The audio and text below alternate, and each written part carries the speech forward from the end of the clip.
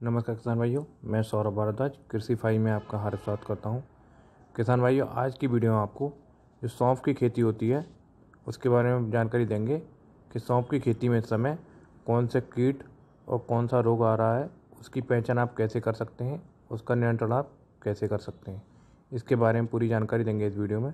उससे पहले किसान भाइयों, अगर अभी तक आपने हमारे चैनल को सब्सक्राइब नहीं किया है तो कृपया सब्सक्राइब करें और पास वाले बेल आइकन को भी दबाएँ। जिससे कि जो भी नया वीडियो हमारा पड़ेगा, उसका नोटिफिकेशन आपको मिल जाएगा।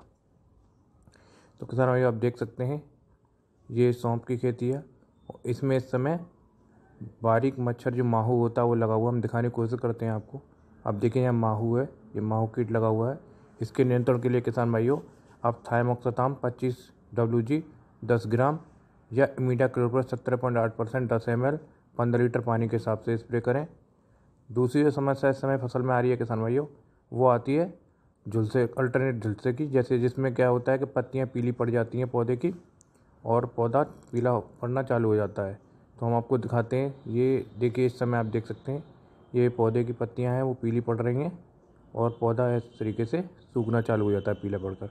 तो उसके नियंत्रण के लिए किसान भाइयों आप कार्बन डाइजम बारह परसेंट प्लस मैंकोजेब तिरसठ परसेंट, पैंतालीस ग्राम पंद्रह लीटर पानी के हिसाब से स्प्रे कर सकते हैं।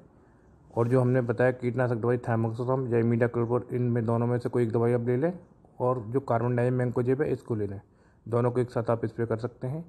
इससे आपकी फ़सल अच्छी हो जाएगी और ये समस्या है, वो ख़त्म हो जाएगी। तो इस हिसाब से आप प्रयोग कर सकते हैं। धन्यवाद किसान भाइयों, वीडियो आपको अच्छी लगी हो तो लाइक और शेयर करें। अगला वीडियो किस टॉपिक बनाना चाहते हैं कमेंट बॉक्स में अवश्य लिखें।